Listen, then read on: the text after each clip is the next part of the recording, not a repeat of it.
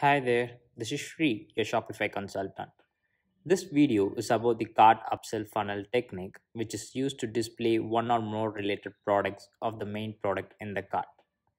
This upsell funnel technique enables the customer to choose between the same or different product categories in the cart.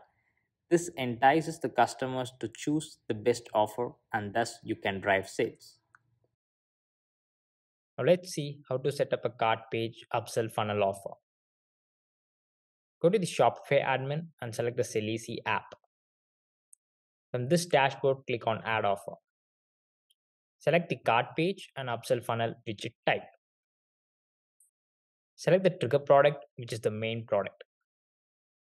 I'm adding all the products which are tagged with skirt as the trigger product. Select the first offer product that has to be shown when the main product is added to the cart.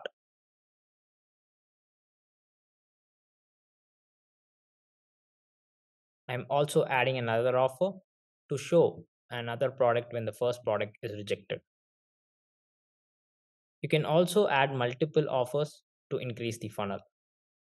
Also enable the discount to make the offer attractive. Enter the offer name and hit on save offer.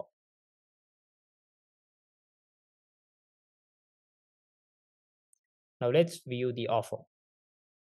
Add the main product to the cart. Hit on checkout to view the offer. The upsell funnel appears here.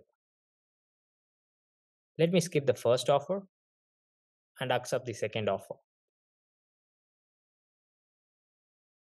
The offer product that is added along with the discount is updated here. And the offer works fine. Make sure to add the tag to the trigger product when you're using the tag based setup. These widgets can be displayed with different layout styles to match your website's theme. These widgets are also mobile friendly and can be customized. This is how the cart page upsell funnel works. I hope this video helps you. Click the link in the description to learn more about the Selleasy app.